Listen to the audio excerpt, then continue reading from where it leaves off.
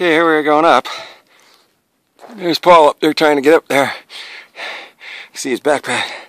And like this wasn't hard or what? This is oh, falling rocks from Paul. He's trying to kill me. And this is the downward. Like, uh,